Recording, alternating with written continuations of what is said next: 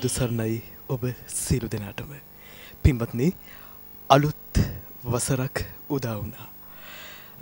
අලුත් වසර උදා වෙලා අපි සති දෙකක් පමණ ඔබ මුණ ගැහුණා. නමුත් අමතක කළ නොහැකි සිහිපත් කිරීමක් කරන්නට හිතුවා ආරම්භයේදීම. අපේ බෞද්ධ මාධ්‍යජාලයේ ගෞරවනීය සභාපති ස්වාමින්ඩයන් වහන්සේ ධර්නාගම කුසලධර්ම ස්වාමින්ඩයන් වහන්සේ ප්‍රමුඛ සමස්ත කාර්යමණ්ඩලය ධර්මයේ ලෝකයට ප්‍රචාරය කරන්නට මේ ගෙන යන කාර්යභාරය පිළිබඳව ඔබ ඊටාම ප්‍රශංසනීය ආකාරයට සලකනවා.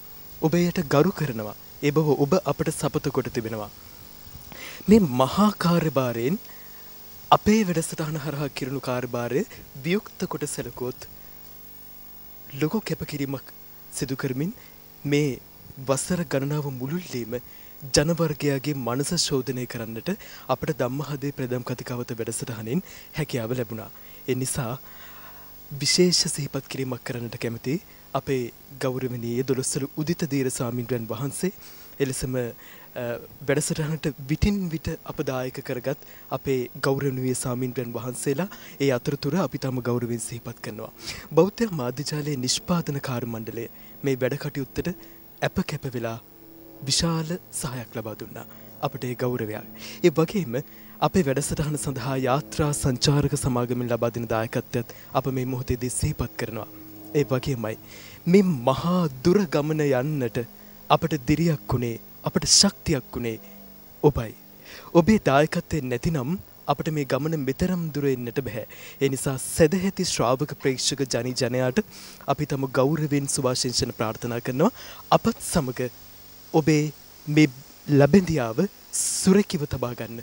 තව බොහෝ දුර අපට යන්නට තිබෙනවා. අවසර දෙන්න අරඹන්න අද වැඩසටහන. දම්හදේ ප්‍රදම් කතිකවත වැඩසටහනේ අද සංවාද මණ්ඩපේ පෝෂණය කරන්නට වැඩමා වදාළ අපේ ගෞරවනීය සංඝ මාණික්‍ය යුග්මය ඔබ වෙත පිළිගන්වන්නට ඔබට හඳුන්වා දෙන්නට අප මේ සැරසෙන්නේ. බියගම කොට්ටුන්න කල්්‍යයානි මාවතේ ධම්මදස්සේ බෞද්ධ මධ්‍යස්ථානයේ අභිනව අනුශාසක පූජපාද අවසරයි දොළොස්සල උදිත දීර ස්වාමින්ද්‍රයනම් වහන්සේ අපි තාම ගෞරවෙන් පිළිගන්නවා අද වැඩසටහනට. එලෙසම රත්නපුර කලවාන ජාතුවන්ගොඩ දම්සක් විහාර සේනාසනයේ අභිනව අනුශාසක තිත්තගල්ල මෙත්බෝ සෙවන භාවනා මධ්‍යස්ථානයේ අනුශාසක තිත්තගල්ලේ ආනන්ද සිරි ස්වාමින්ටන් වහන්සේවත් අප ඉතාම කවුරුවෙන් අද වැඩසටහන්ට පිළිගන්නවා. පිමතුනි වැඩසටහන සමග අකණ්ඩව රැඳී සිටි ඔබට හොඳින්ම මතකයි අප මේ සත කීපය පුරාම සාකච්ඡාවට ලක් කළේ දීඝ නිකායේ සම්ප්‍රසාදනීය සූත්‍රය. ඒ සූත්‍රයේ අභ්‍යන්තර කරුණු පිළිබඳව විචාරශීලී ගවේෂණයක් අප සිදු කළා අපේ ස්වාමින්ඩන් වහන්සේලා ඔබ සියලු දෙනාගේ මනසට ඒ දැනුම ඉතාම හොඳින් සංග්‍රහ කළා. අප අදත් සැරසෙන්නේ ලෝතර බුදුපියාණන් වහන්සේ විශේෂෙහි ගෞරවනීය භාවයක් ආඩම්බර හැඟීමක් උත්තරීතර භාවයක් උපදවාගත හැකි තවත් සාධක මේ සම්පසාදිනි සූත්‍රය ඇසුරින් සොයා යන්නට. මා ඉතාම ගෞරවයෙන් අද වැඩසටහනේ ආරම්භය තබන්නට ඇරියුම් කරනවා. අපේ තිත්තගල ආනන්ද සිරි ස්වාමින්ඩයන් වහන්සේට අපි හමුදුරුවනේ අපි අපේ ශ්‍රාවක ප්‍රේෂ්ෂක වර්ගයාට මෙතෙක් මේ සූත්‍රය සුරින් කතා කළ කරුණුවල දිවෙන ලෝතර බුදුපියාණන් වහන්සේ කෙරේ උත්තරීතර භාවය උපදවා ගත හැකි කරුණු. අප මෙතෙක් සාකච්ඡල කළ කරුණු මොනවද අපේ හමුදුරුවනේ? සෑම දෙනාටම තෙරුවන් සරණයි. ගෞරවනීය සාමින් වහන්සේගෙන් අවසරයි. ඉතින් උරංග අපි මේ මේ සම්ප්‍රසාදනීය සූත්‍රය හරහා ගොඩක් වැඩසටහන් මේ වෙනකොට කරගෙන ආවා. ඉතින් සෑම දිනාටම පොදුවේ මතක් කරනවා නම් ඔබට මතක ඇති මේ සම්ප්‍රසාදනීය සූත්‍ර දේශනාව පටන් ගන්න මුල්ම අවස්ථාවේ අපේ සාවින්නාස විස්තර කරලා දුන්නා. මේ උදුම් මේ පාවාරි කඹවණේ නාලන්දා නුවර. එෙහිදී මේ සාරිපුත්ත මහරහතන් වහන්සේ බුදුරජාණන් වහන්සේ ගාවට වැඩම කළා කන අභීත සිංහනාදයක්. ඒ අවස්ථාවේ බුදුරජාණන් වහන්සේ අහනවා ඔය විදියට කියන්න මේ ඔබ මගේ සිත දැක්කද? පෙර බුදුවරුන්ගේ සිත දැක්කද සාරිපුත්ත? එහෙම නැත්නම් අනාගතයේ පහළ වෙන බුදු කෙනෙක්ගේවත් සිත දැකලාද එහෙම මෙහෙම ප්‍රකාශ අභීත ප්‍රකාශයක් කරන්න කියලා ඇහුවා. මේ හැම දිනාටම දැය සිහියට එනවා ඇති. ඊපස්සේ සාරිපුත්ත මහරහතන් වහන්සේ සාරිපුත්ත සාරිණාසේ කියනවා මට එහෙම හැකියාවක් නම් නැහැ භාග්‍යතුන් වහන්සේ. නමුත් මෙන්න මේ ආකාරයේ කීම මට මේ ආකාර කරුණු තියෙනවා කියන්නේ මම කරුණු රහිතව නෙවෙයි කියන්නේ කියලා ඔබට මතක ඇති පාකාර උපමාව අපේ සායනස් විස්තර කරා පාකාරයක් ප්‍රාකාරයක් වටේ ගිහිල්ලා ඒ ලස්සන උපමාවක් කියලා කිව්වා අන්න ඒ ආකාරයටයි මම භාග්‍යතුන් වහන්සේලා ගැන මෙහෙම ප්‍රකාශ කරන්න කියලා. එතනින් සාරිපුත්ත මහරහතන් වහන්සේ කියනවා භාග්‍යතුන් තථාගත අරහත් සම්මා සම්බුදු රජාණන් වහන්සේලා අනිත් සෑම දිනාට වඩා අනුත්තරයි. ශ්‍රේෂ්ඨයි. අග්‍රයි. ඒ පළවෙනි කරුණ මොකද? කුසල ධම්ම දේශන අනුත්තරිය. ඒ කියන්නේ චත්තාරෝ සතිපට්ඨාන සතර සතර සතිපට්ඨාන සතර සම්‍යක් ප්‍රදාන වීරිය සතර එර්ධිපාද පංච ඉන්ද්‍රිය පංච බල ආර්ය සත්‍ය බොජ්ජංග ආර්ය අෂ්ටාංග මාර්ගය කියන මේ සතිස් බෝධිපාක්ෂික ධර්ම කුසල පාක්ෂික ධර්ම දේශනා කරන්න අතරින් බුදුරජාණන් වහන්සේලාට වඩා අග්‍ර කෙනෙක් අනුත්තර කෙනෙක් උත්තරීතර කෙනෙක් ලෝකේ නැහැ කියලා සාරිපුත්ත මහරහතන් වහන්සේ ඒ බුදුරජාණන් වහන්සේට පැහැදුණු ආකාරයේ පළවෙනි අනුත්තරීය දේශනාව කරා. දෙවෙනි එකට මත මේ හැම දිනාට මතකද ආයතන පන්නප්ති අනුත්තරීය. මේ ආධ්‍යාත්මිකත් බාහිර ආයතනත් පැනවීම අතරින් මේ ලෝකෙත් ආයතන ගැන කතා කරන නමුත් තථාගතරා සම්මා සම්බුදුරජාණන් වහන්සේට වඩා ශ්‍රේෂ්ඨ කෙනෙක් උතුම් කෙනෙක් නෑ කියලා සාරිපුත්ත මහරහතන් වහන්සේ හේතු සහිතව පැහැදිලි කරලා දුන්නා. ඉතින් මේ දේශනාවද අපේ සායින්හන්සේත් මාත් ඒ ගොඩාක් විස්තර කියලා දුන්න මේ ආයතන පිළිබඳව. තුන්වෙනි එක තමයි ගර්භා වක්‍රාන්ති. ඒ කියන්නේ මේ මතක ඇති මේ පින්නතුන මේ ගර්භයේ පිළිසිඳ ගැනීම අතරින්. ඒ කියනවා එක්කෙනෙක් කෙනවා 100න් ඇවිල්ලා 100ක් නැතුව මව් කුසේ ඉඳලා 100ක් නැතුව උපදිනවා. ඒ ආකාරයේ උප්පත්ති හතරක් කියලා තියෙන ලෝක ඇති වෙනවා මේ මව් කුස පිළිසිඳ ගැනීම. ඒ හතරම ආකාරය ඊටා පැහැදිලිව අපේ සායින්නාසෙත් මාත් විස්තර කරා. ඉතින් අපේ සායින්නාසේ මතක ඇති මේ පින්නතුන්ට කිව්වා මේ ආහාරات එක ගිහිලා මේ බඩ තුල ඉඳින කොහොමද? ඒ වේදනාව කොහොමද? ඇයි සිහියෙන් එළියට එන්න බැරි? ඒ වේදනාව කොයි ආකාරයකද උපමා වලින් විස්තර කරා. ඒක කිව්වා මේ ආකාරයේ පිළිසිඳ ගැනීම කවුරුවත් කියලා නැහැ. මේ හරියට පරිපූර්ණ වශයෙන් කිව්වේ මේ ගර්භාවක්‍රාන්ති තථාගතයන් වහන්සේ. ඒ අතිරිනුත් තථාගතයන් වහන්සේමයි අනුත්තර වෙන්නේ කියලා සාරිපුත්‍ර ස්වාමින්වහන්සේ මේ සූත්‍ර දේශනාවේ පැහැදිලි කරා. ඊළඟ එක තමයි ආදේශනා දේශනා. ඒ කියන්නේ මේ අනිත් අයගේ සිත් බලලා කියන්න පුළුවන් ආකාරය. ලෝකේ ගොඩක් අපි දන්නවා අපි එදා පැහැදිලි කර අද කාලට ওই අමනුස්සයන්ගෙන් අහගෙන කොහොමද ওই මේ කියවන්න පුළුවන් හැටි. ඊට පස්සේ මේ අනුන්ගේ සිත් බැලීමේ නුවණ ලබා ගන්න හැටි ඒ ධාන උපදවාගෙන සිත් විතක්ක ਵਿਚාර ශබ්ද අහලා කියන හැටි ආකාරයේ හතරක් තියෙනවා මේ පරිපූර්ණ වශයෙන් දේශනා කරේ තථාගතයන් වහන්සේ මීට වඩා කෙනෙක් නම් නෑ කියලා බුදුරජාණන් වහන්සේට මේ සිත් බැලීම අතරින් අනුත්තර වෙන හැටි සාරිපුත්ත මහරහතන් වහන්සේ ඒ ප්‍රසාදය පුදුමාකාර චිත්ත ප්‍රසාදය ප්‍රකාශ කරා. ඉතින් ඊළඟට දර්ශන සමාපatti. මේ දර්ශන සමාපatti කියන්නේ අපි එදා අපේ සායන්හන්සේ පැහැදිලි කරා මේ දෙතිස් කුණපයක්. මේ ඇතුළටම බලන හැටි භාවනාවක් තුළින් දිනු කළා මේ අසුබ භාවනාව වගේ භාවනා දිනු කළා දෙතිස් කුණ ඇතුළටම බලන හැටි. ඒවා ලෝකේ කියලා තිබුණා තථාගතයන් වහන්සේ තරම් හොඳට පැහැදිලි කර දීපු කෙනෙක්, ඒ මග ගියපු කෙනෙක්, ඒ වගේ කියා දීපු කෙනෙක් නෑ කියලා මේ සාරිපුත්ත මහරහතන් වහන්සේ දර්ශන සමාපatti අතරුණු භාගතුන් වහන්සේ අනුත්තර වෙන හැටි පෙන්වුවා. ඊළඟට මේ පුද්ගල ප්‍රඥාප්ති දේශනා. ඔබට මතක ඇති රහතන් වහන්සේලා ඉන්න ප්‍රඥා විමුක්ත රහතන් වහන්සේලා, බුතෝ භාග විමුක්ත රහතන් වහන්සේලා, ඊළඟට සද්ධා විමුක්ත, දිට්ඨප්පත්ත, කායසක්කේ, සද්ධානුසාරී, ධම්මානුසාරී ආදි වශයෙන් මේ පුද්ගල පුද්ගල පැනවීම පිළිබඳවත් බුදුරජාණන් වහන්සේට වඩා අග්‍ර කෙනෙක් ශ්‍රේෂ්ඨ කෙනෙක් නැහැ කියලා. දැන් මේ සෑම දිනාට මතක් නැති රංග මේ මේ අපේ සායනාංශය දා විස්තර කරා මේ එකින් එකට. එතකොට කොහොමද මේ ප්‍රඥා විමුක්ත රහතන් වහන්සේ කියන්නේ ඔබතෝ භාග වෙන්නේ අය ඒ උදාහරණ අරගෙන පෙන්නවා. ඊළඟ එකට තමයි ප්‍රධාන දේශනා. ඒ කියන්නේ මේ සත්ත්‍ය බොජ්ජංග ධර්ම දිනු කිරීම පිළිබඳව. ඒ දේශනා කිරීම අතරින් භාග්‍යතුන් පුරුදු කර ගැනීම අතරින් දේශනා කිරීම අතරින් තථාගතයන් වහන්සේට වඩා ලෝ ශ්‍රේෂ්ඨ කෙනෙක් නෑ කියලා ප්‍රකාශ කරා. ඊළඟ එක තමයි පඤ්ඤාප්ති දේශන අනුත්තරිය. ඒ කියන්නේ මේ ප්‍රතිපදා හතරක් තියෙනවා මේ ධර්මයේ දියුණු කරන අය. ඉතින් එකක් තමයි දන්ද දුක්ඛ ප්‍රතිපදා දන්දා අභිඤ්ඤා කියලා. එක දියන් ප්‍රතිපදාව දුකයි අවබෝධය ඉක්මන්.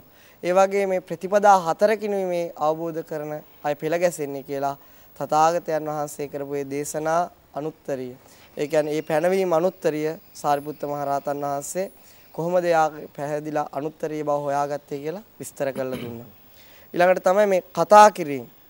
භාග්‍යතුන් වහන්සේ කතා කිරීම මේ බොරුවෙන් බොරුව ඇත්තෙන් ඇත්ත ගලපලා කතා කළා සත්‍යම දේ කතා කළා ඒ බුදුරජාණන් වහන්සේලා භාෂාව හසුරන විලාසය අතරින් අනිත් අයට සමාන වෙන්නේ නැති හැටි ඒකෙන් අනුත්තර වෙන හැටි අපි පැහැදිලි කරලා දුන්නා.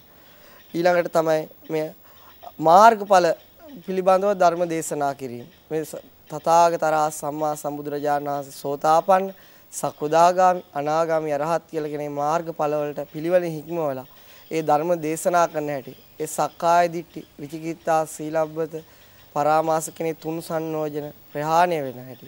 ඒ විදිහට ධර්මයේ දේශනා කරන්න අතරින් තථාගතරා සම්මා සම්බුදුරජාණන් වහන්සේට වඩා අග්‍ර වූ කෙනෙක් ශ්‍රේෂ්ඨ වූ කෙනෙක් ලෝකේ නැහැ කියලා අනුත්තරීය කරුණාව දාලා ඊට පස්සේ මම හිතන්නේ අපිට තියෙන අද තමයි මේ ඒ දේශනාවලින් අමතරව එකක් එහෙම මග හැරුණේ නැති වුණා නම් ඉතින් මේ වාකාරයේ කරුණු කීපයක් ඔස්සේ මේ සාරිපුත්ත මහරහතන් මේ ගෞතම බුද්ධ ශාසනය ප්‍රඥාවෙන් බබලපු ඒ සාරිපුත්ත මහරහතන් වහන්සේ ඇතිවෙච්ච චිත්ත ප්‍රසාදය ප්‍රකාශ කිරීම මේ සති ගණනාවක් පුරාවට කතා කරා නම් ඉතින් මම හිතන්නේ අද ඉඳලා එතන සිට තමයි මේ සූත්‍ර දෙනස්සනා ඉතුරු කොටස අපිට සාකච්ඡා කරන්න තියෙන්නේ. ලෞතර බුදු පියාණන් වහන්සේ පිළිබඳ ගෞරවනීය ආත්ම ආඩම්බරයක් ඔබටත් දැනෙනවා ඇති. ඒ අපේ ශාස්ත්‍රූ නායකයා අපට ගෞරවයක්.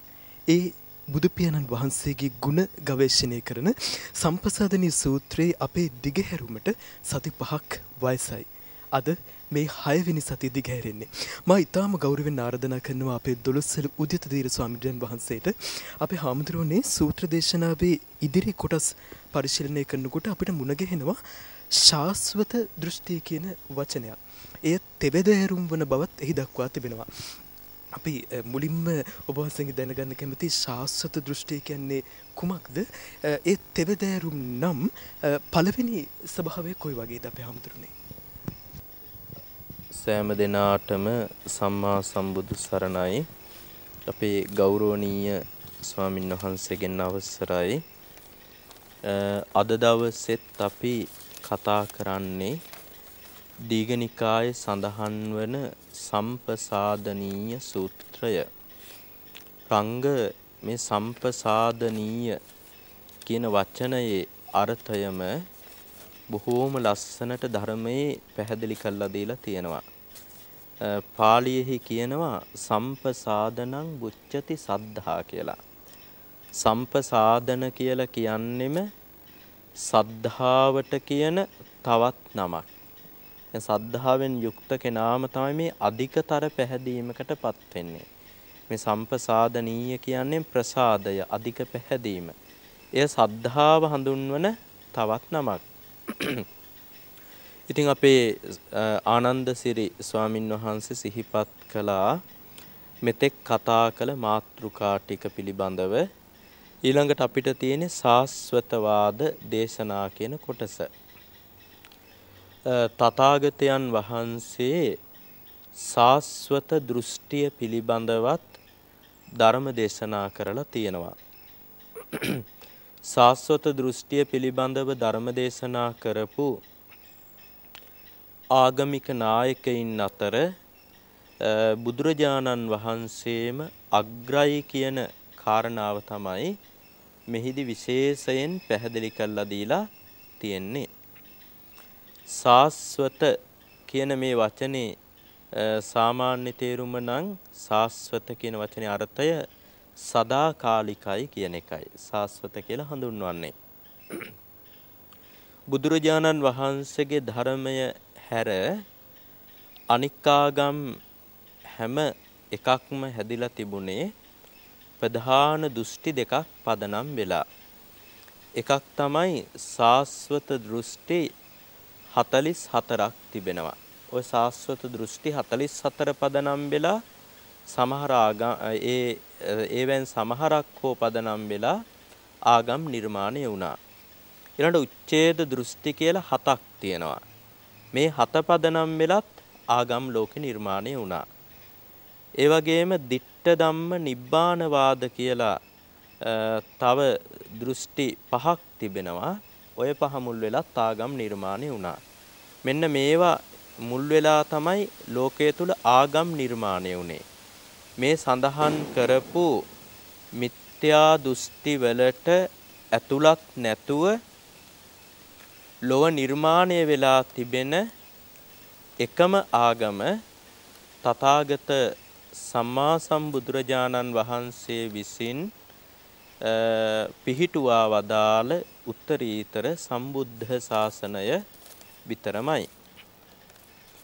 ඉතින් මේ සාස්වත දෘෂ්ටිය කියලා කියන්නේ එතකොට ජීවිතයෙන් ජීවිතයට යන භවයෙන් භවයට යන කර්ම රැස් කරන ඒ කර්මවල විපාක විඳින ඒ වගේම කතා බහ කරන යම්කිසි ස්ථීර වූ නিত্য වූ ආත්මයක් තියෙනවා කියන වැරදි අදහස වැරදි සංකල්පනාව තමයි සාස්වත දෘෂ්ටිය කියලා කියන්නේ. මේක පිළිබඳව ආගම්වල ප්‍රකාශ කරන ආකාර හතරක් තිබෙනවා. ඒ හතරෙන් මේ සූත්‍ර දේශනාවට ඇතුළත් කරලා තියෙන තුනයි. මොකද එකක් ගත්තහම ඒක කිසිම අර්ථයක් නැතිව කරන සාස්වතවාද ප්‍රකාශයක්. ඒක නිසා ඒක වැදගත් නැති හන්ද මේ සූත්‍රයට ඇතුළත් කරලා නැහැ. එයින් පළවෙනි එක මේ සූත්‍රයේ පැහැදිලි කරලා තියෙන මේ සාස්වතවාදී නැත්නම් මේ ආත්මය ගැන කතා කරන පළවෙනි ආකාරය ඉදබන්තේ ඒකච්චෝ සමනෝවා බ්‍රාහ්මනෝවා ආතප්ප මන්වාය පදාන මන්වාය අනුയോഗ මන්වාය අප්පමාද මන්වාය සම්මා මනසිකාර මන්වාය තතාරූපං චේතෝ සමාධින් පුසති යතා සමාහිතේ චitte අනේක අනේක විහිතං පුබ්බේ නිවාසං අනුස්සරති මේකේ සඳහන් කරනවා සාරිපුත්ත තෙරුන් වහන්සේ බුදුරජාන් වහන්සේට කියනවා ස්වාමීනි භාග්‍යවත් බුදුරජාණන් වහන්සේ මේ ලෝකේ සමහර ශ්‍රමණ බ්‍රාහ්මණවරු සිටිනවා. ඒ කියන්නේ සමහර පැවිදි ජීවිත ගත කරන හරි එහෙම නැත්නම් ගිහි ජීවිත ගත කරන අය හරි ඉන්නවා. අන්න ඒ අය මේ පුබ්බේ නිවාස නෑ මේ සාස් මේ ආත්මය නැත් ආත්මනේ පෙර ජීවිත දකින්නට ඕනි කියලා සමාධියක් ඇති කර ගන්නට මහන්සි ගන්නවා පෙර ජීවිත දැකීමට. ඒ සමාධිය පිළිබඳ සඳහන් කළා මේ විදිහට වචන කීපයක්. ඔවුන් මේ සමාධිය ඇති කරගන්නෙත් බොහෝම උනන්දුවෙන් උත්සාහයෙන්. ඒ ගැන සූත්‍රයේ පැහැදිලි කරනවා ආතප්ප මන්වාය කියලා. ආතප්ප මන්වාය කියලා කිව්වේ වීරය මුල් කරගෙන ඒ සමාධිය උපදවා ගන්නේ. වීරයට කියනවා ආතප්ප කියලා. يعني කෙලස් දවන, තවන ස්වභාවයෙන් යුක්ත වූ දෙයක් වීරය කියලා කියන්නේ කෙලෙස් දවන තවන ස්වභාවයෙන් යුක්ත නිසා වීරය ආතාපි කියලා නැත්නම් ආතප්ප කියන වචනෙන් සඳහන් කළා. අනේ වීරය පදනම් කරගෙන ඊළඟට පධාන මන්වාය පධාන මන්වාය කියන්නේ පදන් වීරය. ඒ කියන්නේ දැඩි වීරය උපයෝගී කරගෙන දැඩි වීරය පදනම් කරගෙන අනුയോഗ මන්වාය. අනුയോഗ කියලා කිව්වේ ඒ භාවනාවේ නැවත නැවත යෙදීම් වශයෙන් උත්සාහවත් වෙලා අප්‍රමාද මන්වාය අප්‍රමාදයම හේතු කරගෙන අප්‍රමාදයේ කිව්වේ අරමුණ තුල හොඳට සිහිය පිහිටුවීමටම කියන තවත් නමක්. ඒ තුල හොඳට සිහිය පිහිටුවාගෙන අප්‍රමාදීව ඊළඟ සම්මා මනසිකාර මන්වාය ඊ타ම හොඳින් භාවනා අරමුණක් මෙනෙහි කිරීම හේතු කරගෙන මෙයා යම්කිසි චිත්ත සමාධියක් ලබා ගන්නවා. ඒ චිත්ත සමාධියට පුළුවන්කම තියෙනවා පුබ්බේ නිවාස අනේක විහිතං පුබ්බේ නිවාසං අනුස්සරති. නොඑක් නොඑක් ආකාර පෙර ජීවිත සිහි කරන්නට පුළුවන්කම මේ සමාධිය ලබා ගත්ත කෙනාට තියෙනවා. ඉතින් ඒ බ්‍රාහ්මණවරු නැත්තම් මේ අන්‍ය ආගමිකවරු ඒ සමාධිය උපදවා ගන්නවා. උපදවාගෙන වුන් තමන් මීට ඉස්සෙල්ලා ජීවිතේ හිටිය ආකාරය දකිනවා එක ජීවිතයක්. නැත්නම් මීට ඉස්සර හිටපු ජීවිත දෙකක් දකිනවා. එහෙම නැත්නම් මීට ඉස්සර හිටපු ජීවිත තුනක්, හතරක්, පහක්, දහයක් ඒ වගේම 20ක් 30ක් 40ක් මෙහෙම 40 දක්වා දකින්නට 40ක් ඊළඟට ಜಾති 100ක් ඊළඟට ಜಾති 1000ක් ಜಾති 7සහස්ය කියලා කියන සත කියලා කියන්නේ 100 සහස්ය කියන්නේ 1000. කියන්නේ 100000ක්. 100000 කියන එකට අදාපි කියන වචනේ තමයි ලක්ෂය කියන එක. 100ව 1000කට අපි අද කියන්නේ ලක්ෂය කියලා. 100000ක්. ඉතින් අන්න එහෙම ಜಾති ලක්ෂයක් දකින්න පුරුදු කරනවා. ඒ ಜಾති ලක්ෂය තුලම යාලට පුළුවන්කම තියෙනවා මේ දකින්න එක ජීවිතය තුල හරි ජීවිත දෙකක් තුල හරි තුනක් තුල හරි හතරක් තුල හරි කොහොම මේ ජීවිතවල එයාලට දකින්න පුළුවන්කම තියෙනවා බොහෝ කාරණාවන්. මෙන්න මේ ටික දකින්න පුළුවන්. ඒවං නාමෝ. මගේ ඒ කාලේ නම මෙන්න මේ නම මට තිබුණේ කාලේ. ඒක එයාලට නුවණින් දකින්න පුළුවන්. ඒවං ගොත්තෝ. මගේ ගෝත්‍රය නැත්තම් මගේ කුලය මේකයි. මම මේ අහවල් ගෝත්‍රයේ අහවල් කුලේ අහවල් ජාතියේ ඉපදිලා හිටියේ. ඒක දැකීමේ හැකියාව තියෙනවා. ඒවං වන්නෝ. ඒ කාලේ මගේ ශරීරයෙහි පාට චවි වර්ණය මෙබඳුයි. මම මෙන්න මේ වගේ වර්ණයක් ඇතුව ජීවත් වුණේ කියලා ඔවුන්ට පෙර ජීවිතවල තිබිච්ච ශරීර වර්ණයත් ඊටාම පැහැදිලිව නිර්වුල්ව දකින්න තේරුම් ගන්න හැකියාව ලැබුණා. ඒ වගේම සඳහන් කරනවා තව ඒව මාහාරෝ. මම ඒ කාලේ ඒ ජීවිතවලදී මෙන්න මේ විදිහට ආහාර පාන ගත්තේ. බලන්න කොච්චර සියුම් වූ දෙයකට හිත යොමු වෙලාද? කොච්චර හිත දියුණු වෙලාද? එයාලට පේනවා ඉස්සර ජීවිතවල කාපු බීපු හැටි පවා එයාලගේ නුවණට හොඳට හසු වෙනවා ඒ සිහි කරන ජීවිතයේදී.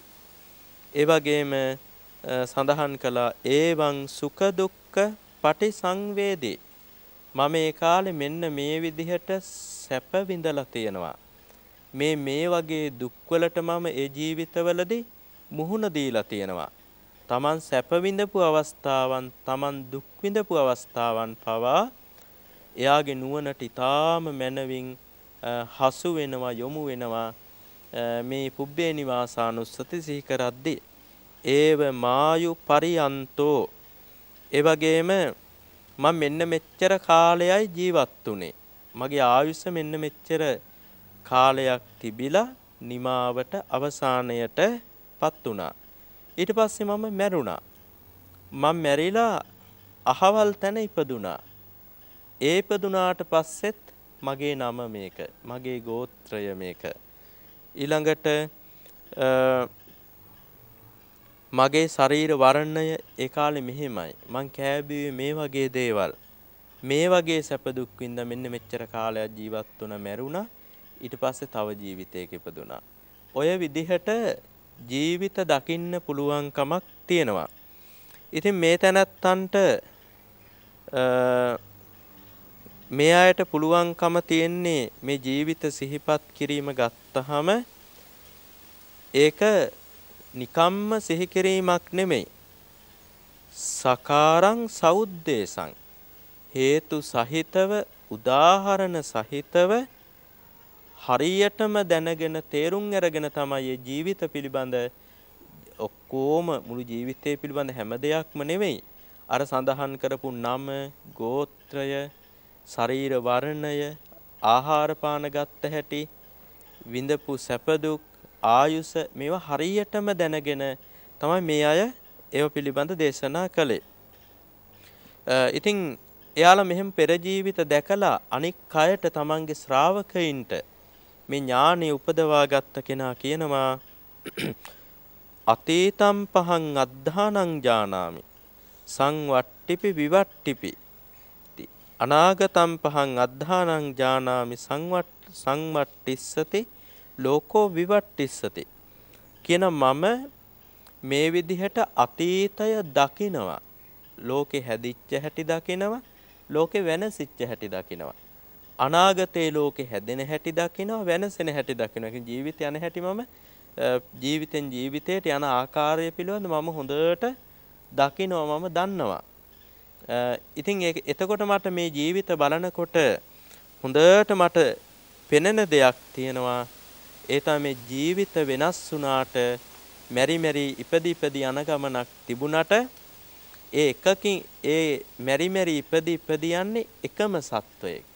ඒ සත්වය ස්ථිරයි, නිසලයි, කම්පා වෙන්නේ නැහැ. මේක උපමාවක් කියනවා හරියට ගල් පර්වතයක් වගේ කියලා. සුළඟින් අකම්පිත ගල් පර්වතයක් වගේ මේ සත්වයා මේ ආත්මය නම් සැලෙන්නේ නැහැ භවෙන් භවයට යන්නේ ආත්මයයි. පොළව හාරලා සවිමත්ව හිටවන ලද ඉන්ද්‍රකීලයක් වගේ සිව්දිගින් හමන සුළඟට කම්පාන වන ඉන්ද්‍රකීලයක් වගේ මේ ආත්මය කියන නිසල එකක් ඒක නිසා අත්තිංචේව සස්සති සමන්ති කියනවා මේ මහා පෘථුවිය ආදී සාස්වත වස්තුන්ට සමාන ආත්මයක් තියෙනවමයි කියලා ඔවුන් දැඩි අදහසකින් යුතුව ප්‍රකාශ කරනවා. බලන්න එතකොට ඔවුන් ආත්මයක් තියෙයි කියලා හිතනවා. හැබැයි ඒ හිතන්නේ බොහෝම සාධාරණ කාරණා කීපයක් පදනම් කරගෙන තමන්ගේ නුවණ මෙහෙवला භාවනා කළා වෙහෙසිලා මහන්සි වෙලා සමාධි උපදවාගෙන පෙර ජීවිතත් දැකලා තමයි ඔවුන් ආත්මය පිළිබඳව කතා කරන්නේ. දැනට පවතින ඒ පැරණි මිත්‍යා දෘෂ්ටික උනත් ඒ පැරණි ආගම් වල අය ආත්මය ගැන කළ ප්‍රකාශ යම්කිසි බුද්ධිගෝචර බවක් තියෙනවා පරිපූර්ණ බවක් නැති වුණාට මිත්‍යා දෘෂ්ටිකයි. ඒකට පරිපූර්ණ බවක් නැහැ. ඒ පිළිබඳ යථාර්ථයෙන්ම අවබෝධ කරගෙන නැහැ. ඒ වුණාට ඒ තුල තියෙනවා යම්කිසි බුද්ධිමය වශයෙන් තමන්ගේ නුවණ මෙහෙවප එකක්.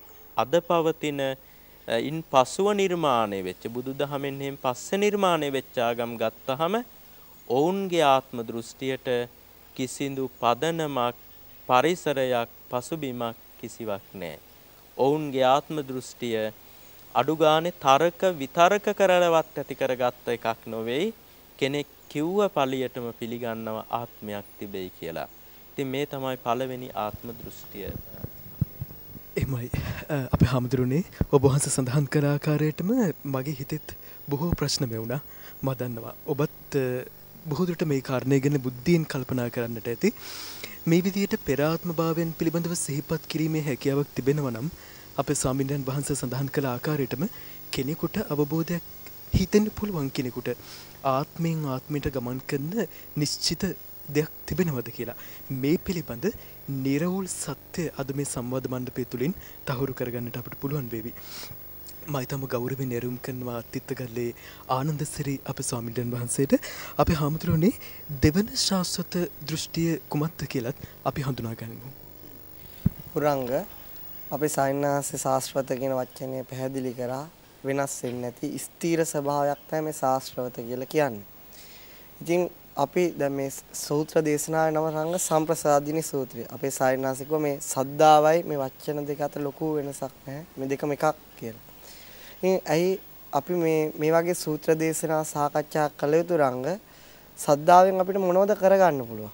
ඉතින් එක වෙලාවක භාගතුන සද්දාව බීජයකට උපමා කරනවා. අපි දන්නවා බීජයක් කැපුරුවට පස්සේ ඒකේ කොළ දාලා, දළු දාලා මහා වෘක්ෂයක් බවට පත් වෙනවා. අර බීජ කොයිතරම් විශාල ගහක් බවට පත් වෙලා අනිත් අයට සෙවණක් සිසිලසක් ආහාරයක් හදලා දෙනවද? වගේ තමයි මේ පුංචි හිතේ ඇති වෙන සද්දාවට කොයිතරම් නම් විශාල වෙනසක් කරන්න පුළුවන්ද? බලන්න සද්දාව නිසා මිනිස්සු තමන් මේ කාම සම්පත් හොයාගෙන යන කාලේ අත්තර දාලා පන්සල් වලට ගිහිලා බෝමල්ලු ඇවදලා බෝධි පූජා කරලා පින්දහම් කරගන්න. මොනක් අය ධර්ම දේශනා සංවිධානය කළා ධර්ම පොත්පත් මුද්‍රණය කළා ධර්ම සාකච්ඡා පවත්වලා පින්දහම් කරනවා. අපිට හිතා ගන්න බැරි ධන ධනය අත්හැරලා පූජා කරන දන් දෙනවා. අපි දකින්න තියෙනවා. වතු පිටි ඉඩකරන් ගෙවල් දොරවල් මේ මිනිස්සු ආස කරන බොහෝ දේවල් නඩු හබ කියන බොහෝ දේවල් අත්හැරලා දානවා. ඊට පස්සේ තවත් අය මේ සද්දාව නිසා අනිත් අයගෙන් වෙන් වෙලා ජනයාගෙන් වෙලා හුදකලා වෙලා වීරය කරගන්න. ඉතින් මේ සම්මා සම්බුදු රජාණන් වහන්සේගේ ශාසනයකට ඇවිල්ලා සද්ධාවන්ත වෙන කෙනා මේ සංසාර දුකින් අත මිදෙන්න පවා මේ සද්ධාව දියුණු වෙනවා. මේ සද්ධාව කොයිතරම්නම් දෙයක් කරනවද? හරියට අර බීජයක් ඇදිලා මහා වෘක්ෂයක් බවට පත් වෙනවා වගේ.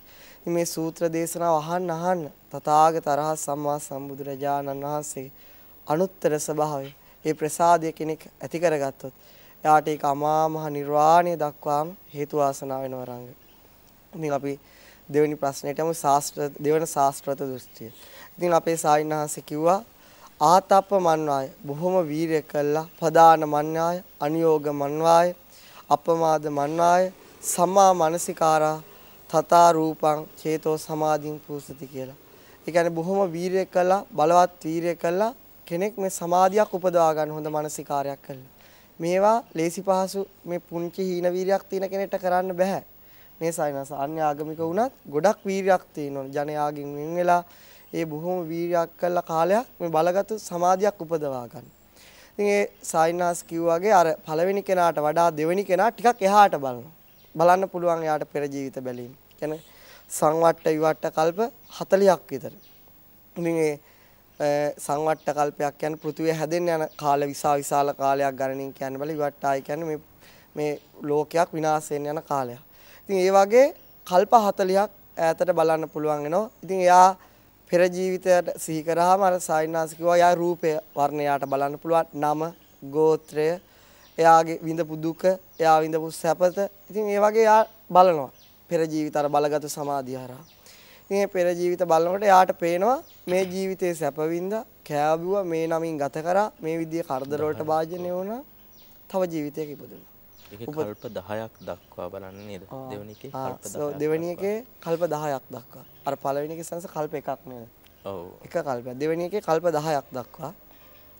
ඉතින් මේ ඒ කල්ප මෙහාට මෙහෙම පේනවා ජීවිත ගණනාව. ඉතින් එයා අර ශාස්ත්‍ර මෙයා කල්පනා කරනවා මේ අර එයා දකින්න දේ තුලම එයා මානසිකාරයක් කරනවා.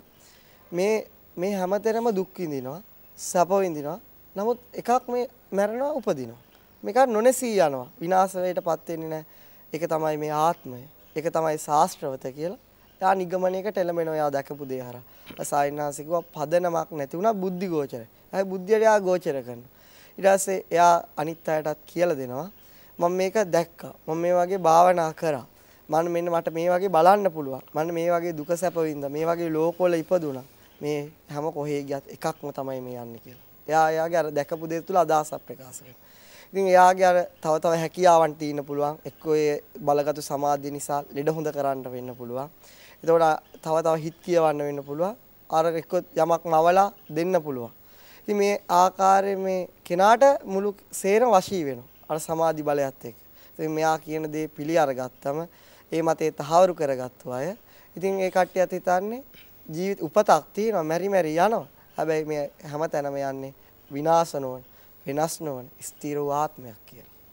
ඉතින් ওই පෙර ජීවිත ගැන කිව්වම මෙය රංග මේ මෑත කාලෙක කෙනෙක් ඒ මහත්මා කෙනෙක් මුණ ගැහුණා. එයාත් ගොඩක් වීරිය කළා භාවනා දියුණු කරගත්ත කෙනෙක්. ඉතින් යානම් බුදුරජාණන් වහන්සේගේ ධර්මයට අනුව ඒ වගේ සාවින් වහන්සේලා ඇසුරු කරමින් කරගත්තු කෙනෙක්. ගොඩ කාලයක් පස්සේ මෙයාටත් මේ පෙර ජීවිත බලන්න පුළුවන්. ඉතින් එයා එයා කියනවා මීට අවුරුදු 30 මීට උපත්තිය බව 30කට කලින්. උප්පත්ති 30කට කලින් එයා නිරේ උපදිල විඳ දුක. ඒ ඊට කලින් 31 වෙනි බව. ඊට කලින් මනුස්ස ලෝකේ ඉඳලා ඊට පස්සේ නිරේට වැටිලා අවුරුදු කෝටි ගණන් විඳපු දුක පැහැදිලි කරනවා. ඉතින් ඒ වගේ අදට වුණත් අවීරය කළා එක්ක ඔය ඉන්දියාවේ ඉන්නවා ඉෂිවරු. ඒ ඉෂිවරුත් මේ වගේ ගොඩක් පමණක් අයට පෙර ජීවිත බලන්න බොහොම වීරය කළා පුළුවන් හැකියාවක් තියෙනවා. වගේ අතලොස්සක් දෙන අන්‍ය ආගමිකුණත් මෙහෙම බලලා ඒ වගේ නිගමන වලටපත් වෙනවා. ඉතින් මේ කල්ප 10ක් සිහි කරන්න පුළුවන් මේ කෙනා දෙවෙනි ශාස්ත්‍රවතාවකයි කියන දෙවෙනි ශාස්ත්‍ර දෘෂ්ටියට පැමිණෙන්නේ. එයා දැකපු මේ පෙර ජීවිත පෙර ජීවිත දැකීම තුලින්මයි. ඉතින් මම හිතන්නේ අපේ සාවින්හන්සේ තව දුරටත් මේ මේ කරුණ පිළිබඳ විදිහට පැහැදිලි කරයි රන්ට. එහෙමයි අපේ හැමතුරුනේ පින්වත්නි මේ ගැඹුරු සංවාදය තුළ අපි තර්ක දෙකක් දැන් ඉස්මතු වෙනවා.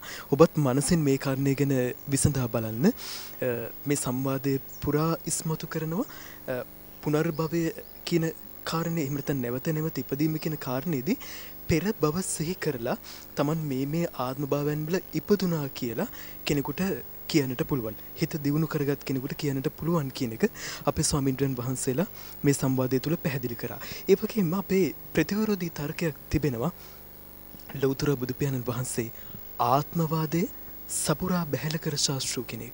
ඒ නිසා මේ තර්ක දෙක අපට එකිනෙක ගලපන්නට වෙනවා. මා ඉතාම ගෞරවයෙන් අපේ දොළොස්සල උදිත දීර ස්වාමින්දයන් වහන්සේට ඇරුම් කරනවා ශාශ්වත දෘෂ්ටියේ තුන්වන විභේදනය පිළිබඳ පැහැදිලි කරමින්ම අපේ හාමුදුරුවනේ මෙතනටම මට හිතෙනවා හොඳින්ම ගැලපෙනවා කියලා ලෝතුරා බුදුපියාණන් වහන්සේගේ ආත්ම දෘෂ්ටීන් බැහැරවීමේ පදනම අපි එයත් මේ සමගම පැහැදිලි කරමු අපේ හාමුදුරුවනේ. දැන් මේ සූත්‍රයේ අද අපි කතා කරන්නේ එක එක ආගමිකයින් පෙර ජීවිත සිහි කරන ආකාරය කෙනෙකුට පුළුවන් ඉපදීම් ලක්ෂයක් දක්වා පෙර ජීවිත සිහි කරන්න හිත දියුණු කරලා. ඊළඟ දෙවනි කෙනාට පුළුවන්කම තියෙනවා කල්ප 10ක් දක්වා පෙර ජීවිත සිහි කරන්න. බුද්ධ ශාසනයෙන් බාහිරව කෙනෙකුට සිහි කළ හැකි උපරිම කල්ප ගණන තමයි කල්ප 40ක් සිහි කරන්න පුළුවන්. නැසෙන වෙනසෙන කල්ප 40ක්. ඊට එහා බුද්ධ ශාසනයෙන් බාහිර වූ කෙනෙකුට පෙර ජීවිත සිහි කරන්නට පුළුවන් කමක් නැහැ. හැබැයි ඔවුන් පෙර ජීවිත සිහි කළාට අර මේ බෞද්ධෙක් වගේ අනාත්මයි කියන දෘෂ්ටිය තුල ඉඳගෙන ආත්මයක් නැහැ කියන සම්මාදිට්ඨිය තුල ඉඳගෙන නෙවෙයි පෙර ජීවිත බලන්නේ. එතකොට යාලට පේන්නේ මේ මෙරි මෙරි ඉපදි ඉපදි යන්නේ ආත්මයක් කියන අදහසයි ඇති වෙන්නේ.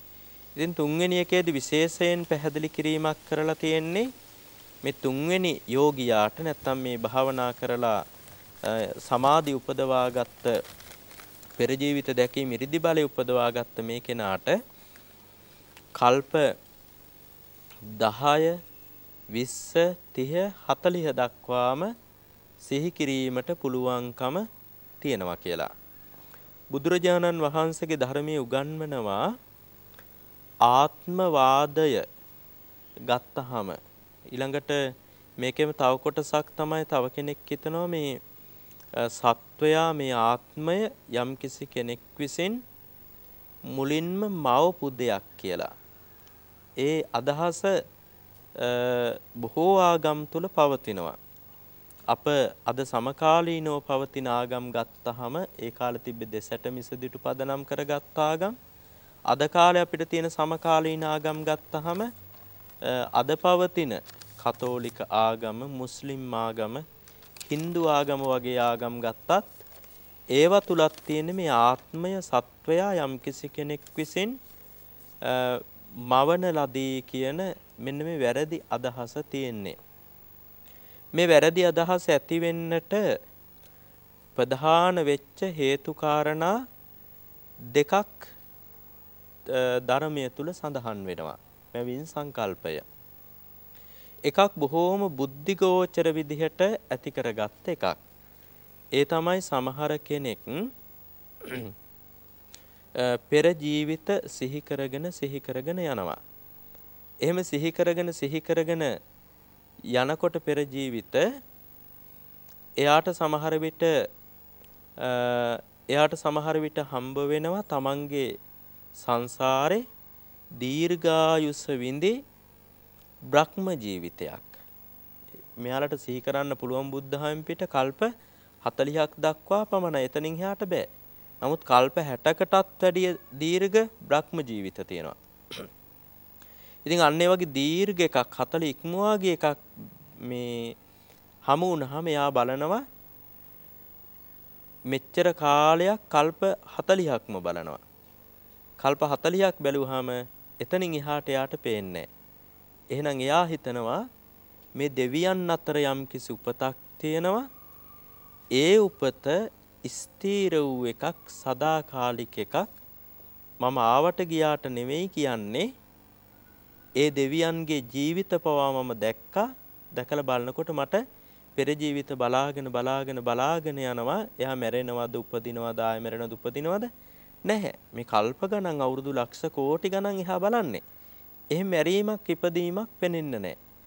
අන්න ඒක නිසා මේ දෙවියන් ඒ බ්‍රහ්මයන් ගත්තහම එයාලා සදාකාලිකයි ස්ථිරයි එහෙම සදාකාලික ලෝකයක් එහෙම තැනක් තියෙනවා කියලා. තමන්ගේ පෙර ජීවිතයක් මේ තමන්ට අහුවෙන්නේ. එයාලා හිතනවා එහෙම සදාකාලික ලෝකයක් සදාකාලික තැනක් තියෙනවා කියලා. අපිටත් මරණයට පත්වලේ දෙවියන් කෙරෙහි ගරු සත්කාරතු වාසය කළා මේ සදාකාලික තැනට යන්න පුළුවන් එතෙන්ට ගියාට පස්සේ ආයෙත් මැරෙන්නේ උපදින්නේ එහෙම නැහැ කියන මේ අදහසට මේ සංකල්පයට සමහර කෙනෙක් පැමිණෙනවා. තව සමහර කෙනෙක් මේක ගැන හිතනවා මේ මැවුන් වාදය මේ තව සමහර කෙනෙක් මේ අදහස ඇති කර ගන්නවා. ඒකට පාලියෙන් නමක් කියනවා වඩ්ඩක න්‍යාය කියලා. වඩ්ඩක න්‍යාය කියන්නේ වඩුවාගේ ක්‍රමයෙන් හිතනවා. ඒකේ පුටුවක් ගත්තාම මේ ලස්සන පුටුවක් බැලුවාම එයා දන්න මේ පුටුව කවුරු හරි හදපු කෙනෙක් ඉන්නවා. හොයාගෙන ගියොතින් එයා ගැන මොකක් හෝ පසුබිමක් මේ කාලේ කියලා පරණ එකක් අද හම්බුණත් අපිට අද තියෙන දැනුමින් තීරණය කළේ මේක මෙන්න මෙච්ච විතර පරණයි කියලාවත් අඩු ගානේ. මොකක් හරි පරීක්ෂණයක් කළවත්. මේ කාලෙටවත් අයිතිය කියලා. ඉතින් අන්න ඒ වගේ ගෙයක් දොරක් ගත්තත් ප්‍රාසාදයක් ගත්තත් ගොඩනැගිල්ලක් ගත්තත් ඉදි කරපු කෙනෙක් ඉන්නවා. එහෙම ඉදි කරපු කෙනෙක් ඉන්නවා නම් එයාලා කල්පනා කරනවා තර්ක විතර්ක කරලා මනරම් කඳු ගැට තියෙන ලස්සන සුන්දර චමත්කාර ජනක දිය ඇලි. ඒ වගේම අදහ ගන්නවත් බැරි විදිහේ නොඑක් විසිතුරු සතුන් එහෙම ජීවත් වෙන. ඒ වගේම පුදුම නිර්මාණයක් ස්වභාවයේම නිර්මාණයක් වගේ පෙනෙන මිනිස්සයා මේවත් අනිවාර්යෙන් මවපු යම් කිසි කෙනෙක් සිටිය යුතුයි කියලා අර වඩුව ගැන හිතුවා වගේ පුටුව හදපු මෙයාලා තරකයෙන් විතරකයෙන් හද හිතනවා එහෙනම් මවපු කෙනෙක් ඉන්නට ඕනේ කොහෙද ඒ කෙනා ඉන්නේ? ඔවුන් මේ Tamanට විසේවන ලෝකය තුල හොයලා බලනවා, ගවේෂණය කරලා බලනවා. එබඳු කෙනෙක් මේ ලෝකය තුල දකින්නට නැති නිසා ඔවුන් හිතනවා එහෙනම් මේ කෙනා ඉන්නේ අනිවාර්යෙන්ම නොපෙනෙන ලෝකයක විය යුතුයි කියලා. එහෙම කියලා නොපෙනෙන ලෝකයක සිටින දෙවි කෙනෙක් හදහන්නට මිනිසුන් පුරුදු වුණා. ඒ පළමුව මේ න්‍යායෙන් කල්පනා කරපු කෙනා නිසා ඔහුගේ අනුගාමිකයින් ඒකට පුරුදු වෙලා වෙනම ආගමක් ලෝකය තුර නිර්මාණය වීම සිදු සිදු වෙලා තිබෙනවා. නමුත් ඒකට අර කිසිම පදනමක් නැහැ.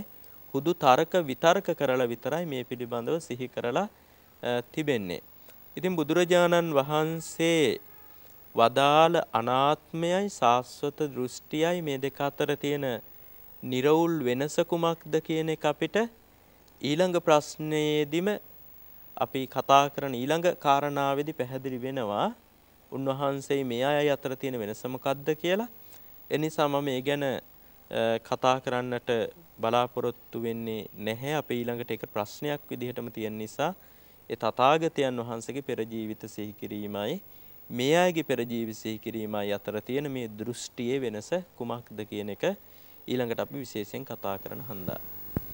ඉතම පැහැදිලි අපේ ස්වාමින්ඩන් වහන්සේ සඳහන් කළ ආකාරයටම මේ ශාස්වත දෘෂ්ටියට ගැති වූ පිරිස සහ ලොතුර බුදුපියාණන් වහන්සේගේ දර්ශනය අතර ඒ පවතින වෙනස ඔබට හොඳින්ම හඳුනා ගන්නට පුළුවන් වෙවි. ඒ බොහොම වටිනවා.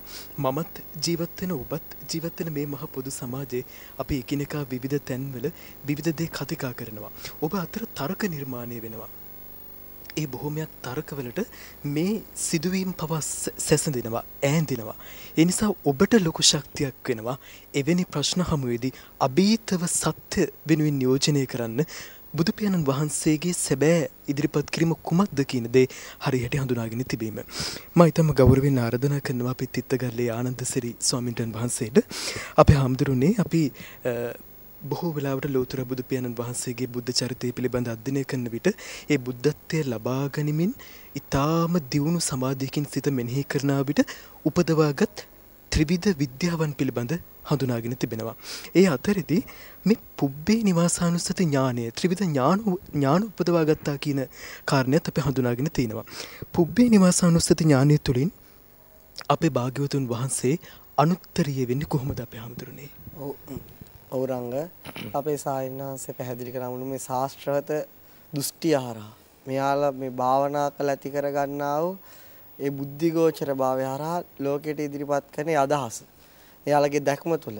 ඉතින් සායිනාසේ පැහැදිලි කරා කතා වටිනා දෙයක් අපි මෙතන කියවන මේ සර්ව බලධාරී කෙනෙක් ඉන්නවා නොපෙනෙන ලෝකයේ කියලා. ඉතින් අද මේ ලෝකයේ තුල චතුරාර්ය සත්‍ය ධර්මය තථාගතයන් වහන්සේ තාමත් ඇහෙන මේ ලෝකයේ තුල අපි ගත්තොත් කොයිතරම් මේ සර්ව බලධාරී කෙනා අදහනවද? මිනිස්සු කොයිතරම්නම් මේ දෘෂ්ටියට අහු වෙලා ගියාද කියලා අපිට වෙනවා මේ බෞද්ධයයි කියා ගන්න එපා. උපතින්ම උපැන්නට බෞද්ධයයි කියා ගන්න කී දෙනෙක් විශ්වාස කරනවද මේ මෙහෙම සර්ව බලධාරී කෙනෙක් ඇති මහ බබා මේක මවල ඇති. එන කී දෙනෙක් කතා කරනවද පුංචි කාලේ ඉඳලා. ඉතින් ඒ වගේ කොයිතරම් බලගත්ු දෘෂ්ටිමය වශයෙන් මිනිස්යාට මේක කාවැදිරද කියලා අපිට තේරෙනවා. ඒක මහා බලගත්ු දෙයක්. භාගතුන් වහන්සේ කියන මේ අම්ම මැරුවත් තාත්තා මැරුවත් එයා සම්‍යක් දෘෂ්ටික නම් එයා යන්නේ අවීචියට. ඒක ආය අතරක රැඳෙන්නේ අවීචියම උපත ලබනවා. එයාත් කල්පයයි නිරේ ඉන්නේ. නමුත් මේ මිත්‍යා දෘෂ්ටිය කෙනාට කියන්න බෑ. මෙයා මෙවැනි දෘෂ්ටියකට ආවම පිනපාව පිළිගන්නේ නැහැ. මේ අම්මගෙම උපදින අම්මගේ මව් කුසේ ඉඳලා උපදින දරුව පේනවා. නමුත් මෙයා හිතනවා මම වෙන කෙනෙක් මැව්වා කියලා. මේ ඒ හේතුවවත් පේන හේතුවවත් මෙයා පිළිගන්නේ නැතුව වෙලා යනවා. මෙයා මැරුවේ මේ නොපෙනෙන ලෝකේ සරල බලධාරි තමයි මගේ මැව්වේ. අම්මට වඳින්නේ නැතුව යනවා. තාත්තට ගරු කරන්නේ නැතුව වෙලා යනවා. දන් දුන්නව විපාක පිළි දන් දෙන්න පුළුවන්. නමුත් මේකේ පිනක් රැස් වෙනවා කියලා පිළිගන්නේ නැහැ. අකුසල් වලින් හිත පිරෙනවා. මේක ප්‍රහාණය කළ පිරිසිදු කරගන්න ඕන කියලා හිතන්නේ නෑ අරයාටම පතනවා. අනේ මම ඔබ ගාවට ගන්න. මගේ දුක ඔබ ඔබ ගන්න මම ඔබට ණය ගැතියි මම ඔබගේ දරුවා මේ විදිහට ඉල්ලීම් කරනවා තමන්ගේ ඇහැට පේන හේතුව පවා තමන්ගේ ඇහැට දර්ශනය වෙන හේතු සහිත දේ පවා මෙයා විශ්වාසය අත්හරිනවා නොපෙනෙන ලෝකෙවල බලන්න මේ මනුස්ස චිත්ත සංතාරයට මේ දෘෂ්ටිගතික බව කොයි තරම්නම් වූ බරපතල හානියක් කරලා තියෙනවද එවැනි කාලයක තමයි තථාගත රහස් සම්මා සම්බුදුරජාණන් වහන්සේ නමක් ලෝ පහළ වෙන්නේ දුර්ලභ වූ පහළවීම දුර්ලභ උපතක්. මේ තථාගතයන් වහන්සේ උමිට මතක ඇති රංග මේ අවුරුදු 6ක් දුෂ්කර ක්‍රියා කළා. නොයෙකුත් ගුරුවරු ගාවට ගිහිල්ලා. එහෙම එහෙම නොයෙකුත් දුක් ගැහැට විඳලා ඒ ජයස් විජයශ්‍රී ජයශ්‍රී මහ බෝධීන් වහන්සේ වජිරාසනයේ මතදී වෙසක් සඳ පායාගෙන බොහෝ කල අතරින් මේ පෘථිවියට වැටෙනකොට මීට අවුරුදු 2600කට කලින් තථාගත රහස් සම්මා සම්බුදුරජාණන් වහන්සේ කියන බෝසතාණන් වහන්සේ අපේ ආනාපානසය සමාධියට සමවැදුණා. පිළිවෙලින් පළවෙනි දාහනේ උපදවා ගත්තා. විවිච්ඡේව කාමේ විවිච්ඡ අකුසල ධම්මේ සවිතක්කං සවිචාරං විවේකජං පීතිසුඛං පඨමඥානං උපසම්පජ්ජ විහෙරති කියලා. පිළිවෙලින් දෙවෙනි දාහනේ කරා එළඹුණා. තුන්වෙනි දාහනේ කරා බෝසත් සිත වැඩුණා. හතරවෙනි දාහනේට දියුණු කරා. ඒ අධිකතරේ සමාධිය, ඒ බලගත් වූ සමාධිය, ඒ ආනුභාව සම්පන්න වූ සමාධිය අපේ බෝසතාණන් වහන්සේ පෙර ජීවිත බලන්න යොමු කරනවා. වෙසක් සඳ මෝදු වෙලා ඒ බෝපත් අතරින් වැටෙනවා රංග. ඒ අවස්ථාවේ පේනවා එක නිරේ ගිහිල්ලා දුක් විඳින හැටි දකිනවා. තව බලන ඈතට. මේ වෙනවා දිව්‍ය ලෝකෙ ගිහිල්ලා සැප විඳිනවා. මනුස්ස ලෝකෙට එනවා. බොහෝම කාලයක් නිරේ. තව තව ඈතට බලනවා. මාතු පෝසක ජාතකය වගේ විශ්‍ය සංකේ කල්පලක්ෂයකටත් එහා. ඊටත් එහා බලනවා. මේ සාරා සංකේ කල්පලක්ෂයට එහා දීපංකර තථාගත සම්මා සම්බුදුරජාණන් වහන්සේගේ නියත ඉවරණ ගැන බලන බලන ඉවරයක් නැහැ. බොහෝම බුදුසිත යොමු කරනවා. මුළු බුදුරජා මේ බෝසතාණන් වහන්සේට පේනවා මේ විඳ විඳ දුක් විඳ විඳ මේ සංසාරේන එක මේ වඩුව හොයනවා. කවමද මේක හදන්නේ කියලා. ඉතින් මේ වගේ දැන් අපි පළවෙනි කෙනා කිව්වා ඒ අන්‍යාගමික කෙනා කල්ප එකක්. එයාට පෙර ජීවිත එක ලක්ෂයක් වෙන්න පුළුවන් ජීවිත. ඊට පස්සේ කල්ප 10ක්. ඊළඟට කල්ප 40ක්. අන්‍ය ආගමික කෙනෙක්ට එතනින් එහාට හිත දියුණු කිරීමක් නැහැ. ඉතින් මේ පේනවා මේ මීට වඩා මේ කල්ප 40 කල්ප 40000 තියෙන දිව්‍ය ලෝක පේනවා. කල්ප 80000 තියෙන කල්ප 64000ක් තියෙන දිව්‍ය ලෝක පේනවා. ඒවැ ඉපදිච්ච පේනවා. ඊට එහාට බලන්න. මෙතන කල්ප 40යි. කල්ප 40000 කියන්නේ 1000කින් වැඩි වෙනවා. ඒ ප්‍රමාණ ආවස තියෙන භාග මේ බෝසතාණන් වහන්සේට පේනවා. ඊට පස්සේ මේ බෝසතාණන් වහන්සේ මේකේ ආස්වාද පක්ෂය බලනවා. මේක ආදීනවේ බලන මේ සංසාරේන ගමන. ඊළඟට මේක හට ගැනීම, නැතිවීම, මේක නිස්සාරණය දකින්න. මෙන්න අනිත් අයට මේක නැහැ. හට ගැනීම පේ සමුදය පේන්නේ නැහැ, අත්ංගමය පේන්නේ නැහැ. ඒ ඊට පස්සේ ඒගොල්ලන්ට ඒව පේනුණා. ඒක ආසාදයේ පක්ෂයට ඇල්ලන ඒක ආදීනවේ පේන්නේ. ওই කොයි හතරම පේනුණා. නිස්සාරණය පේන්නේ. මේක ඉතින් බෝසතාණන් වහන්සේ මහා පාරමී බලෙන් දකින්න. ඉතින් අරාය කල්ප 40යි. මෙතෙන්දි බුදුරජාණන් වහන්සේ කල්ප වලින් කියන්න බෑ මේ මේ බලන්න පුළුවන් පෙර ජීවිත බැලීමේ හැකියාව. ඒකට උදාහරණයක් කියන්න පුළුවන්. දැන් එහෙම බලලා තුන්වෙනි ආසවාක්ඛ්‍යා ඥානයත් අරගෙන සම්මා සම්බුද්ධ රාජ්‍ය ලබා ගන්නවනේ. ඊට පස්සේ මේ ධර්මයේ දේශනා කරන අතර කාලය තුල අපේ බුදුරජාණන් වහන්සේ ගාවට ඇවිල්ලා අහන එක්කෙනෙක් මේ ප්‍රශ්න වෙලා යා සර්වඥතා ඥානය ගැන ප්‍රශ්නයක් ඇතිලා ඒක විසඳගත්තට පස්සේ වෙන මේ අන්‍යාගමික කොච්චර කට්ටියක් දිව්‍ය ලෝකෙ ඉපදිලා ඉන්නවද කියලා. මේ අන්‍යාගමික බෞද්ධ නොවන අය. ඉතින් අපේ තථාගතරහ සම්මා සම්බුදුරජාණන් වහන්සේ මම මෙතනම මේ වෙලාවේ කල්ප 91ක් ආපස්සට සිහි කරනවා බ්‍රාහ්මණය කියලා. කල්ප 91ක්. එසනින් භාගතුන් වහන්සේ කියන මම මේ කල්ප 91ටම මේ කල්පණයේ විපස්සී සම්මා සම්බුදුරජාණන් වහන්සේ කාලේ එකම එක්කෙනෙක් ඉන්නවා කියන අන්‍ය ආගමික කෙනෙක් ඉපදිලා. එයත් මේ පිනපව සලකලා. ඒ කියන්නේ කර්ම කර්මඵලය අදහගෙන දන් දීපු කෙනෙක් කියන. වෙන කෙනෙක් නම් පේන්න නෑ කියන මේ තේවිජ්ජ සූත්‍රය මජ්ක්‍ධිම නිකායේ. ඉතින් බලන්න මේ කල්ප 91ක් එක චිත්තක්ෂණයක් තුළ සිහි කරනවා. කොයිතරම්නම් වූ ආශ්චර්යයක්ද. අපි සරණ ගිය බුදුරජාණන් කල්ප 90 මෙතනත් කල්ප 40යි ඒ තරම් කාලයක් තුළ. ඉතින් ඒ වගේ ගොඩක් තැන් තියෙනවා රංග. තවත් අවස්ථාවක මේක සාවින්හන්සේ නම දෙන පාත්‍රයට වක්කොම වළඳනවා. ඉතින් සාමින්හන්සේලාට ප්‍රශ්නයක් මේ ආමුදුර මේ මේ කියන්නේ කෑදරයි කෑමට. කිසිම මේ ආසාවයි. ඉතින් ඒ භික්ෂු සමාජය තුළ ඒකල් ප්‍රශ්නයක් ඇති වෙනවා. ඉතින් තථාගතයන් වහන්සේට ওই ප්‍රශ්නය ආම කියනවා. මෙයා ආත්ම භාව 500ක්ම සිහි කරලා කියනවා. මෙයාගේ ආත්ම භාව 500ම මේ අලියෙක් කියලා ඉපදුනේ. ওই වගේ. ඊළඟට බුදුරජාණන් වහන්සේ ජාතක දේශනා. ඉතින් මේ නවාංග සාස්ත්‍ර ශාසන ජාතක සිහි කළා ඒ වෙලාවේ දේශනා කරනවා. ඒක පුදුමාකාර රංග පුදුමාකාර පෙර ජීවිත බැලීමේ හැකියාව. ඒවා බලලා භාග්‍යතුන් වහන්සේ ඒ ලෝකවල මෙහෙම ආත්මයක් එනවා කිව්වේ නැහැ. ඒගොල්ලෝ ඒ සමාධිය පැත්ත විතරයි දිනු කරලා බැලුවේ. අර පෙර ජීවිත බැලීම තුළින් අනිත්‍ය, දුක්ඛ, අනාත්ත කියන. මේ අනිත්‍ය දුක්ඛ අනාත්ත බල තිලක්ෂණය බලවා මේ බලලා මේක තථාගතයන් වහන්සේ අවබෝධ කරගත්තා. ගේ හදන වඩුව කුඩු කළා දැම්මා. පටිච්ච සමුප්පාදයේ ධර්මය අවබෝධ කරගත්තා. මේකේ නැසී වෙනසී යන දෙයක් මිසක් මේක නාම රූප પરම්පරාවක් මිසක් මේකෙන් ජීවිතෙන් ජීවිතේට ආත්මයක් නැහැ. මේ තණ්හාවත් කර්මයක් එකතු වී කරන වැඩක් මිසක් මේක යන ආත්මයක් නෑ කියලා හේතු සහිතව පැහැදිලි කරලා දුන්නා. එපමණක් නෙවෙයි මේක තමන්ගේ අහන ශ්‍රාවකයන්ට මේ පෙර ජීවිත උපදවාගෙන පෙර ජීවිත හැකීමේ ඥානය ලබාගෙන මේවයි තිලක්ෂණය මෙනෙහි කරන ආකාරය කියලා දුන්නා. මම හිතා අපේ සාවින්හන්සේ තවත් කරුණු එකතු කරයි රංග. එහෙමයි. බෞද්ධ මාධ්‍යාලය සමග සමීපව මේ ගැඹුරු ආධ්‍යාත්මික විග්‍රහය ශ්‍රවණය කරන නරඹන ශ්‍රාවක ප්‍රේක්ෂක ඔබ මනසෙහි ඔබේ අභ්‍යාසය දියුණු කරන්න අප තර්ක ඉස්මතු කරනවා. ඒ පිළිබඳ තීරණ ගැනීමේ ශක්තිය ඔබට බාර කරනවා. අපේ දොළොස්සර උදිත දීර අපේ හාමුදුරුවනේ අද මේ වැඩසටහන ඔබට සමීප කරන මේ පරිසරය පවා මදක් වෙනස් වෙලා ම ඔබහන්සේට ඉතාම ගෞරුවෙන් ආරධනා කරනවා ඉතාම කෙටියෙන් හෝ අද මේ වැඩසටහනට අපට සහයදුන්නු සිරු දෙනාට වගේම නව වසර කප මේ සිටින්නේ එනිසා ලක්කුලෙස්සි ලෝවෙසි ඔබ සිරු දෙනාටත් පොදුවේ ආශිර්වාදයක් කරමින් අද වැඩසටහනේ සමාප්තිය තබන්නට ඉතාම ගෞරුවෙන් ඔබහන්සේට හැරීම් කරනවා. අද දවසේ අපි සම්පසාධනීය සූත්‍රය ඇසුරෙන් සාස්වත දෘෂ්ටිය පිළිබඳව බොහෝ කාරණාවන් සිහිපත් කරන්නට යෙදුනා.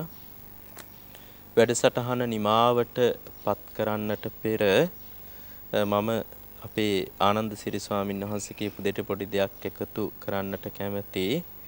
ඒ තමයි අන්‍ය ආගමිකයින් අතර සුගතියේ ඉපදිච්ච අය අනන්තවත් අප්‍රමාණවත් ඉන්නවා. වෙස්සන්තර රජතුමා ගත්තත් එයත් බුදුදහමේ කෙනෙක් නෙවෙයි අසුගති ඉපදුනා. අර බුදුරජාණන් වහන්සේ බලන්නේ කල්ප එකක් තුල සුගති ඉපදිච්ච අය පිළිබඳව එයාලට කියන්නේ වෙනම නමක් එයාලට තියෙනවා. ඒ තමයි එයාලා පිම්පව් අදහන්නේ නැතුව ජීවත් වීම උදෙසාම පැවිදි බිමටපත් වෙච්ච අය. එයාට කියනවා ආජීවක කියලා. ආජීවක කියන්නේ ජීවිතයේ උදෙසාම පැවිදි වෙච්ච අය. එයාලා පිම්පව් අදහන්නේ නැහැ. අන්නේ ආජීවකයන් අතර එක්කෙනෙක් විතරක් හිටියා කර්මඵල අදහන ආජීවක කෙනෙක්. එයා විතරක් මැරිලා සුගතිය ඉපදුනා කියලායි බුදුරජාන් වහන්සේ සඳහන් කළේ. ඒ වුණත් අන්‍යාගමිකයින් අතරත් නියත මිත්‍යා දෘෂ්ටික නොවන අය එයාලා මරණින් මතු කුසල් කළාම සුගතියේ උපත ලබනවා. නියත මිත්‍යා දෘෂ්ටිකෙන් විතරයි සුගතිය උපදින්නේ නැත්තේ. දැන් මහා මායා දේවියත් බෞද්ධ නොවේ. ඒ උනාට දිව්‍යාංගනාවක් වෙලානේ ඉපදුනේ. දිව්‍ය පුත්‍රයෙක් වෙලානේ ඉපදුනේ මාතෘ දිව්‍ය රාජයා කියලා.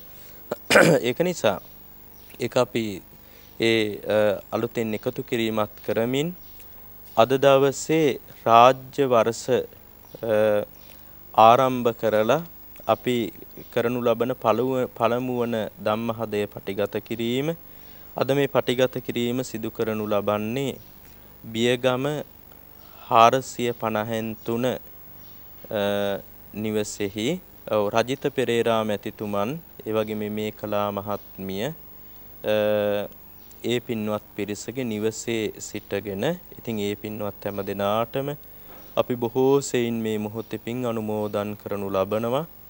ඒ වගේම බෞද්ධ මාධ්‍ය ජාලයෙහි නිර්මාතෘවර අතිගෞරවාස්පද බෞද්ධ ලෝකයාගේ පිනින් පහළ වුණ ශාස්ත්‍රපති පඬිත දරණාගම කුසල ධම්ම නායක මාහිමිපාණන් වහන්සේටත් ඒ වගේම එහි සත්පුරුෂ කාර්ය මණ්ඩලයටත් මේ වැඩසටහන් ආදිය සඳහා අප උපකාර කරමින් ලෝ පුරා විසිරී සිටින බෞද්ධ මාධ්‍ය ජාලයෙහි දායක දායිකා පින්වත් හැම දෙනාටමත් මේ හරහා ධර්ම ඉගෙන ගන්න සදැහැති ඔබ හැම දෙනාටමත් ඒ වගේම අපේ ජීවිතවලට අප උපකාර කරනු ලබන හැම දෙනාටමත් ඒකාන්ත කොට මේ ලැබුවා වූ අසර පුරාවට තෙරුවන්ගේ සූවිසි මහා ගුණ බලයේ අනන්ත ආශිර්වාදය අනන්ත රැකවරණය ලැබී කායික මානසික නිදුක් නිරෝගී සුව දිගාසිරි සපිරි වෙන කවරදාටත් වඩා ධර්මයේ වෙත නැඹුරු වෙච්ච ධර්මයේ වෙතට යොමු වෙච්ච සම්බුද්ධ ශාසනය රැක ගන්නට උරලයදී ක්‍රියා කිරීමට අවකාශ සැලසෙන සුබ නව වසරක් බවට පත් වේවා කියලා අපි ආශිංසනය කරනු ලබනවා. හැම දිනාටම තෙරුවන් සරණයි. කොයිතරම් සුබසාර පැතුමක්ද? කොයිතරම් බරසාර පැතුමක්ද? ඒ පැතුම ඔබට ගෙන එන්නේ හදවතින්මයි. අපි සලකනවා ඔබ අපේ ඥාතීන් බව. මේ නෑදෑකම ආරක්ෂා කරමු. තව බොහෝ කාලයකට ඔබ අපට වටිනවා. අද මේ වැඩසටහන ඔබ වෙත සමීප කරන්නට අපට දිරිය ලබා දුන්නා බුද්ධිමේ දිරිය දායකත්වය ලබා දුන්නා. බියගම කොට්ටුන්න ධම්මදස්සී බෞද්ධ මධ්‍යස්ථානයේ අභිනව අනුශාසක පූජ්‍යපාද අවසරයි දොළොස්සල උදිත දීර අපේ ස්වාමීන් වහන්සේ ඒ වගේම අපට දිරි දුන්නා රත්නපුර කලබාන ජාතුන්ගොඩ දම්සක් විහාර සේනාසනයේ අනුශාසක තිත්තගල්ල මෙත්බෝ සෙවන භාවනා මධ්‍යස්ථානයේ ගරු අනුශාසක පූජ්‍යපාද අවසරයි තිත්තගල්ලේ ආනන්ද සිරි ස්වාමින්ද්‍රයන් වහන්සේ. ඔබේ හදවතේ උපන් ශ්‍රද්ධාවේ බලමහිමෙන් ඔබේ හදවතේ උපන් කරුණාවේ බලමහිමෙන් ඔබේ හදවතේ උපන් සුපසන් මෛත්‍රී බලමහිමෙන් අපේ ස්වාමින්ද්‍රයන් වහන්සේලාට නිදුක් නිරෝගී සුවපත්භාවය අපි ප්‍රාර්ථනා කරමු. සාදුකාර පවත්වමින් සාදු සාදු සාදු. දම්හදි ප්‍රදම් කතිකාවත වැඩසටහනේ බාහිර නිෂ්පාදන වගකීම සියතර ගත්තා. හේෂා නම්බගම අපි තරුණ මහත්මා එතුමන් ප්‍රමුඛ බෞද්ධ මාධ්‍යජාලයේ කාර්යමණ්ඩලයට තුති පුදමින් අපි ඔබෙන් සමුගන්නවා. ලක්වැසි ලෝවැසි ඔබ සැමදිනාට සම්මා සම්බුදු සරණයි.